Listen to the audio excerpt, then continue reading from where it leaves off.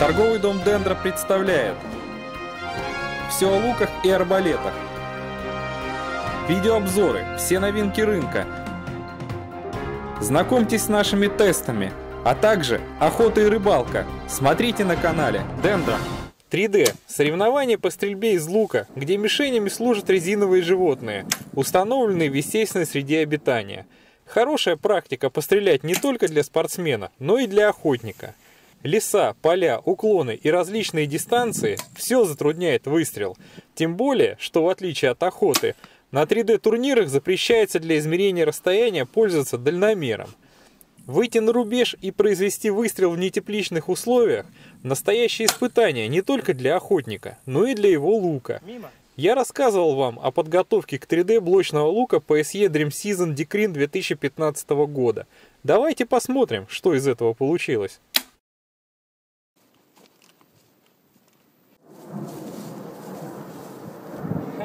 Ну чё, я не участвовал в 3D, Павел, года два, да?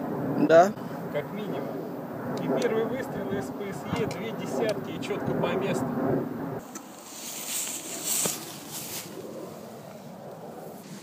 Совсем недавно я по такому муфлону стрелял из карабина, но спокойно, сколько тут, э, чуть больше 30 метров, можно вот так плотненько выстрелить и из лука.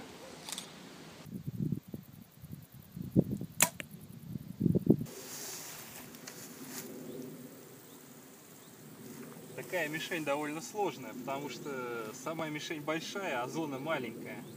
Ну, как видите, две стрелы друг с другом. 10 и 11. Очень хороший результат для этой мишени.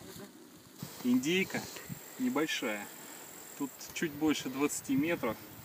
Но одна в зону, другая чуть выше, но кучность, вот лук бьет кучно, реально. Хорошая 3D, хорошая погода. Отдыхаем.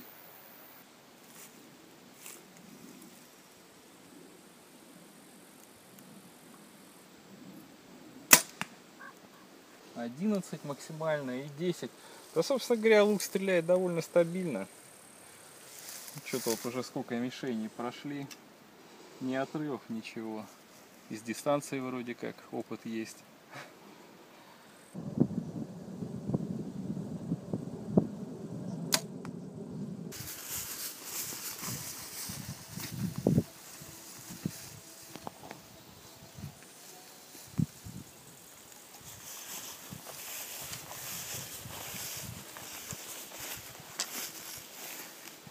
Крошка енот.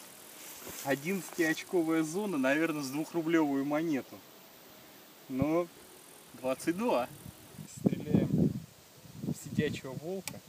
Это лично моя самая ненавистная мишень.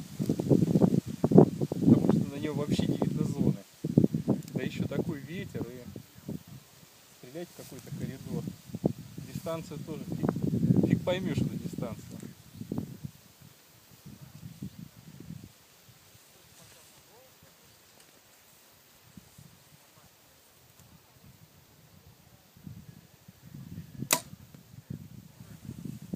куда-то попал. Кто-то явно постарался поставить дистанцию так, чтобы она была не маленькой. Так, ну.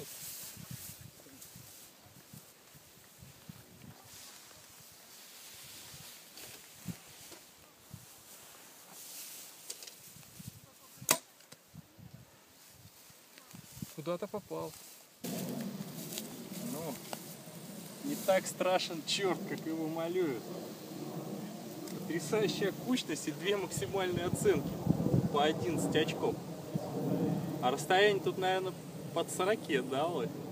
Где-то так. Ну, вот. ПСЕ-то хороший лук оказался, кто бы мог подумать. Так, первый круг 12 мишеней, 223. Второй круг, те же 12 мишеней, уже 228. И общая 451. Несмотря на двухлетний перерыв в стрельбе, я попал на этом турнире 451 очко, что для охоты является очень хорошим результатом и я бы сказал даже с запасом. Рассмотрим поближе на 3D мишени, которая называется пекари. Это аналог нашего сигалетка. Весом где-то 30-40 килограммов, ну, на которого мы привыкли охотиться. 3D мишень имеет убойную зону.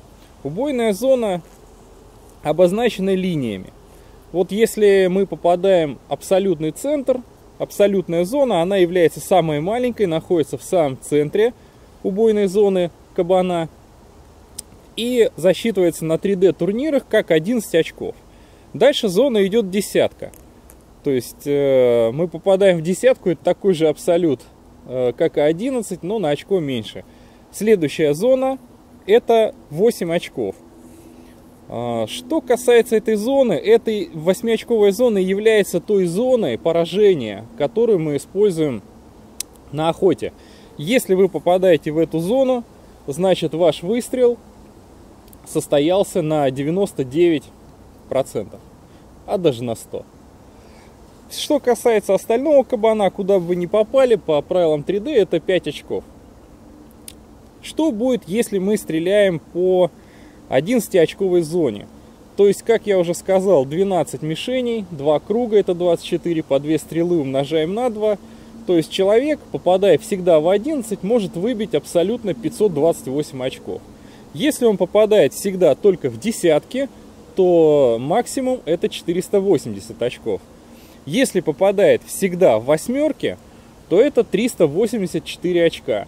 То есть если вы со стопроцентной вероятностью на охоте стреляете правильно по убойной зоне, то на 3D надо достаточно набрать 384 очка. Так, а это перестрелка за выход в финал. 39 и 44 я вышел. И 43 из 44. Ну что ж, на этом мое везение закончилось, ибо за первое место мне пришлось стрелять с Виктором Тарасовым, членом сборной России и человеком, никогда не покидавшим пьедестал почета. Несмотря на то, что Виктор регулярно тренируется, мне удалось показать в финале идентичный с ним результат. Так, вот финал за первое место. Я из 44-40 и Виктор Тарасов из 44-40. То есть мы выбили по 40 очков и пошли на перестрелку. Если бы Терминатор стрелял из лука, это выглядело бы примерно так. Стрела Виктора оказалась на пару сантиметров ближе к центру мишени, и он стал победителем турнира. А я занял почетное второе место.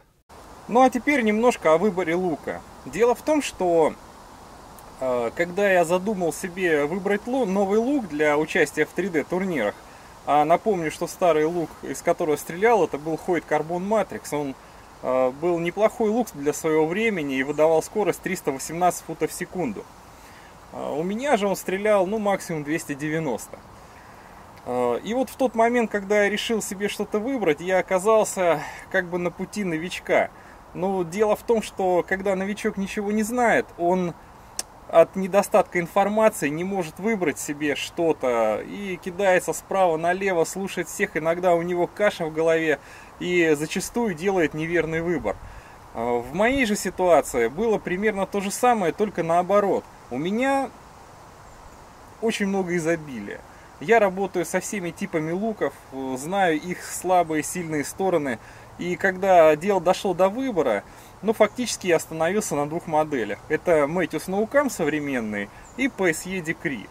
Это луки равнозначной ценовой категории, но они по своей сути немножко разные. Наукам это лук, который создан для того, чтобы точно попасть. Он стреляет точно, он стреляет тихо, но у него э, средние показатели скорости 330 футов в секунду. Э, лук PSE Decree это все-таки скоростной лук.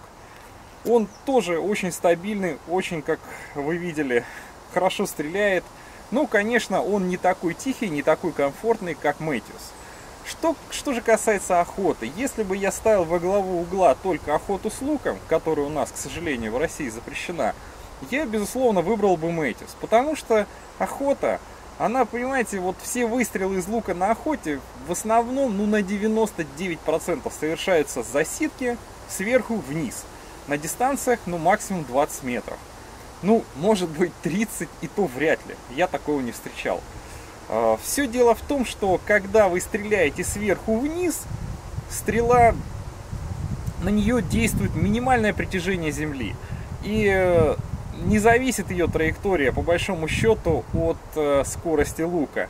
Ну и плюс к тому, что дистанция сама, она не подвержена такому падению стрелы. То есть 20 метров вы 100% просчитаете, куда вы попадете, как из скоростного лука, так и из медленного лука. А, что же касается 3D, а это именно выбор для 3D, в основном этого лука у меня состоялся, то 95% выстрелов на 3D все происходят параллельно земле. Вот именно в этот момент стрела максимально падает из-за притяжения земли. То есть здесь выходит во главу угла скорость. Поэтому между Matthew Snowcam и PSE Decree я при всем желании и не знаю как сказать, вот выбрать Мэтьюс, прям вот горел, горел э, желание выбрать Мэтьюс, потому что там такая прям идея в нем заложена офигенная. То есть, ну, блин, очень грамотный лук.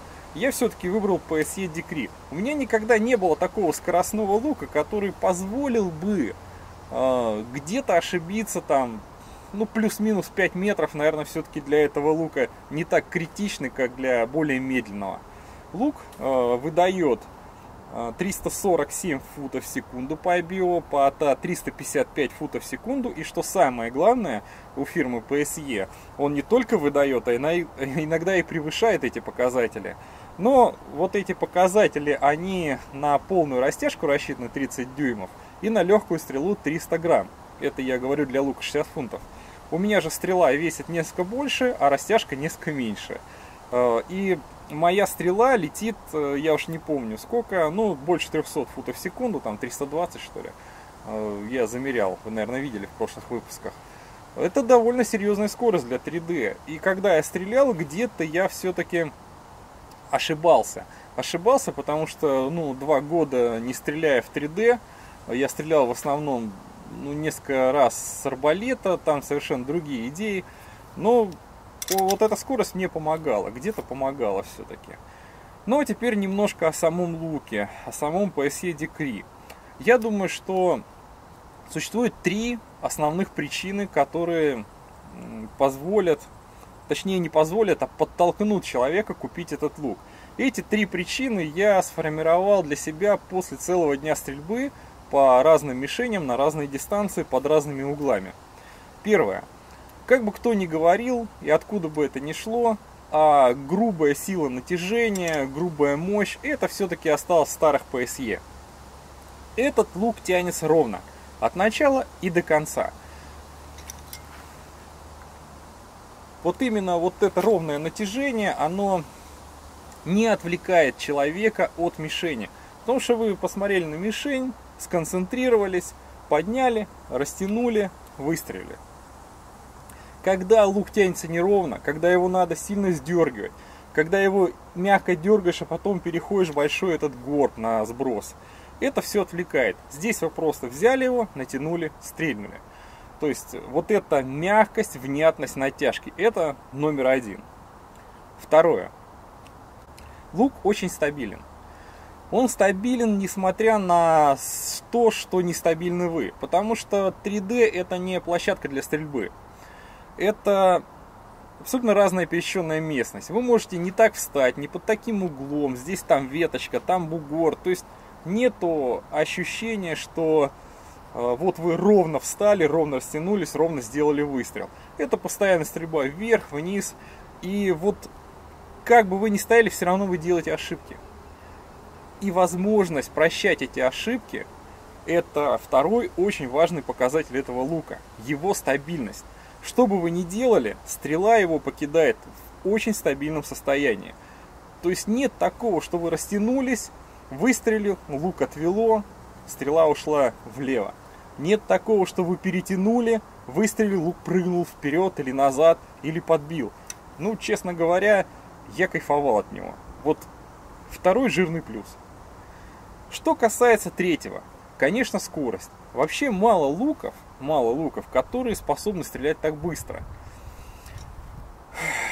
И уж тем более мало луков, которые стреляют так быстро, ведут себя так стабильно. Наверное, вот эти три критерия основных э, я для себя определил в выборе этого лука. Надеюсь, что кто-то если и посмотрит это видео, потом доведется ему пострелять с этого лука, я думаю, вспомнит мои слова и почувствует на себе. Почувствует на себе, э, не знаю, шарм или обаяние этой машинки. Но реально, PSE Decree э, я рекомендую. Рекомендую для 3D, рекомендую для охоты. Он отлично подойдет для охоты с подхода, когда вам надо сделать точный выстрел вплоть до 50 метров. Это отличная скоростная машинка. И, пожалуй, своим выбором я остался доволен. Так что всего доброго, до новых встреч, ждем вас на 3D.